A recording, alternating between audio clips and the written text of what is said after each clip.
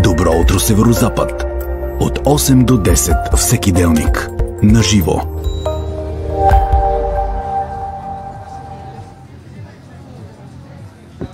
Добро утро, Северозапад върви към своя край. Направихме ви съпричастни с 15 септември в условия на пандемия.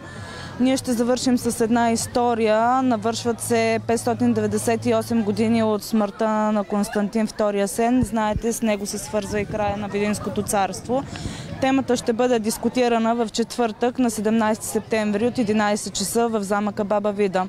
Инициативата е организирана от регионалният исторически музей. Ето какво разказва пред камерата историкът Калин Виденов.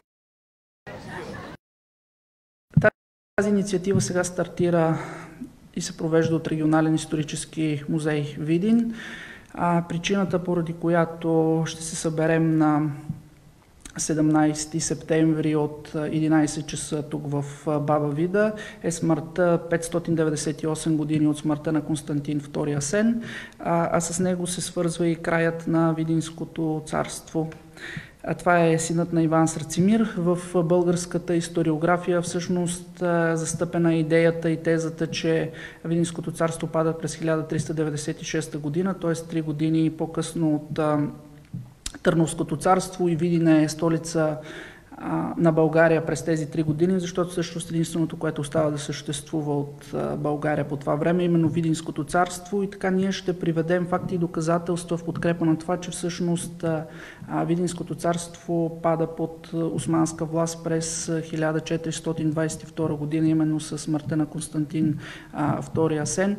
Иначе това западането на Видинското царство през 1396 година е застъпено в българската историография още от времето на Иречек и повече от век не е поставено под никакво съмнение.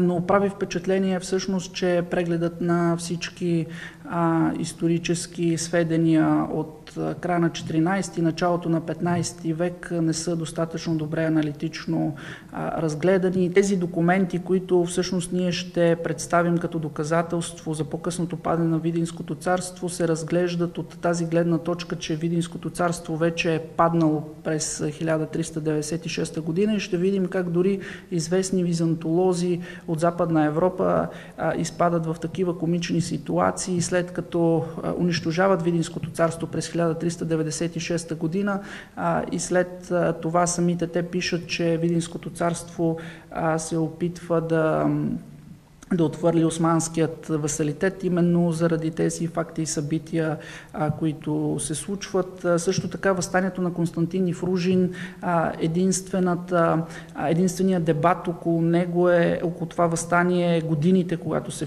се случва то. Дали е през 1408 и 9 или 12 и 13 или 1404 година, но, но единственото, което се споменава е, че това възстание е свързано с а, това да се възстанови българската държава, а не да се отхвърли османският васалитет.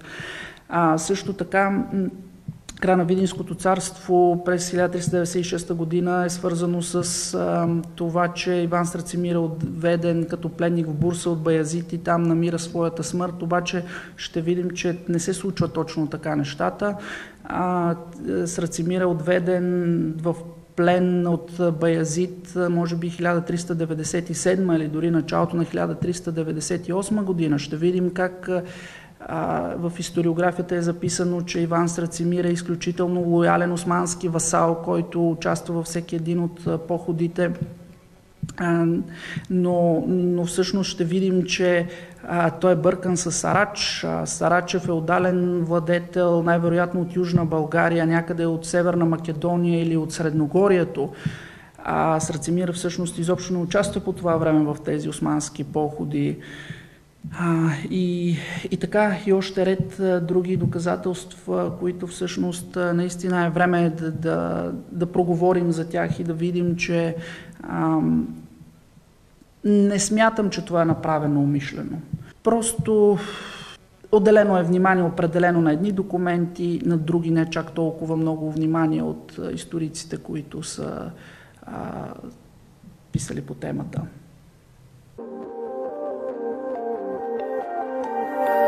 Добро утро Северозапад.